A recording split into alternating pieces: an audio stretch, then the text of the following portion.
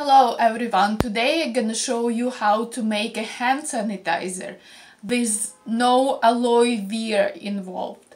For that you need alcohol, whatever you got, 70, I have 70%. But it's best to have a higher volume of alcohol. hydrogen peroxide vegetable glycerin, distillated water or filtered water. A little container where you're gonna mix everything. And a little container where you're gonna keep the hand sanitizer. You can use the spray bottle, but I'm gonna use this one.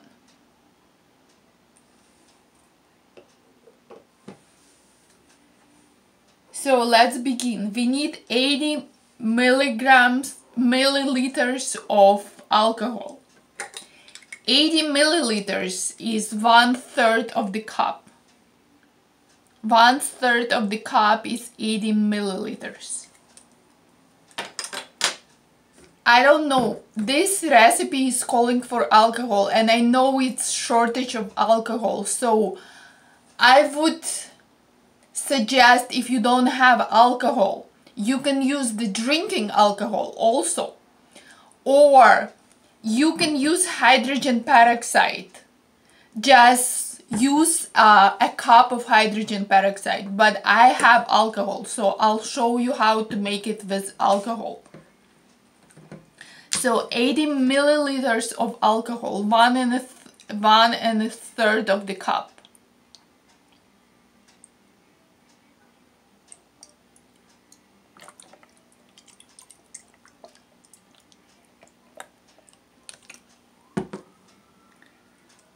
Just place it in the mixing bowl.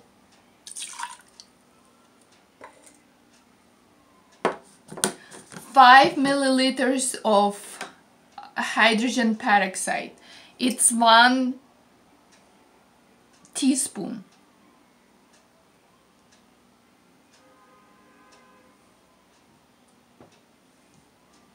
One tablespoon. I'm sorry, it's one tablespoon 5 milliliters.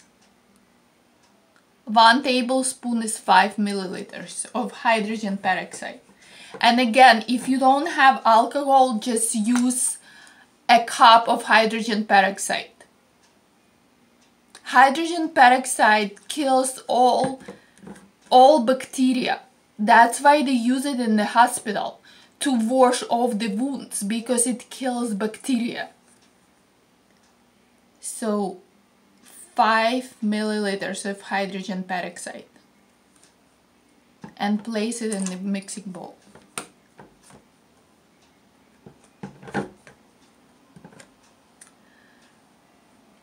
Then we need one and a half milliliters of glycerin. The, the vegetables glycerin is gonna, uh, because of the alcohol, it dries out your skin uh, glycerin is gonna moisturize your skin. So one and a half milliliter, uh, one teaspoon has 125 milliliters. One teaspoon is one 125, so we're gonna add one and a half teaspoon. of glycerin.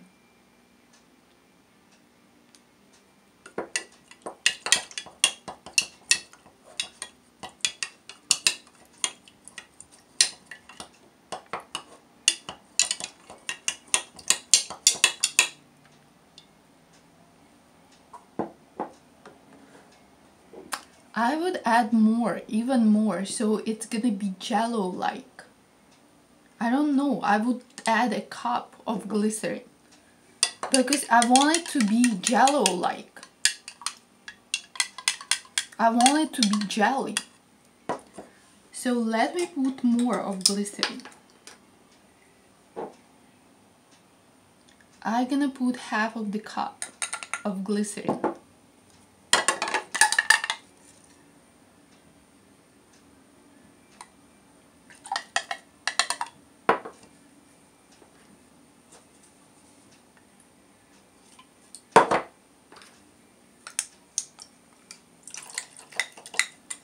I want it to be, I want it to be jello, like, I want it to be jelly.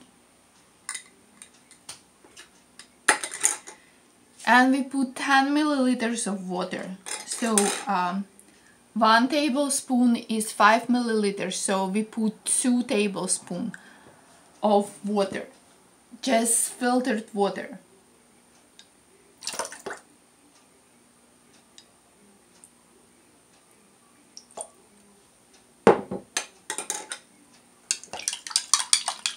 And that's it. It's ready to be used. I don't know guys if you like it to be that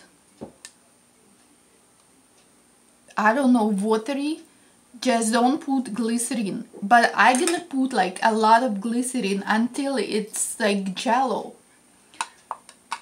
Like the hand sanitizer you you you used to buy in stores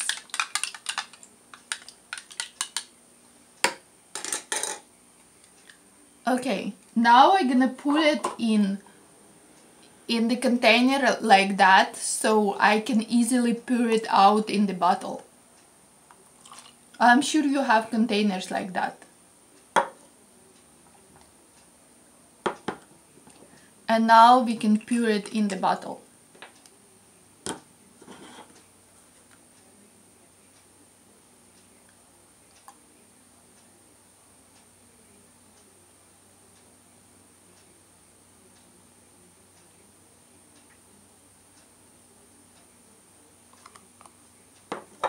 that's it. The hand sanitizer is ready. It's very nice. It's gonna kill all bacteria. It's very moisturizing because you have glycerin inside. And um, you can disinfect the surfaces. You can go outside. You can disinfect your hands. You can disinfect the, the shopping carts. You can keep it in your purse when you go outside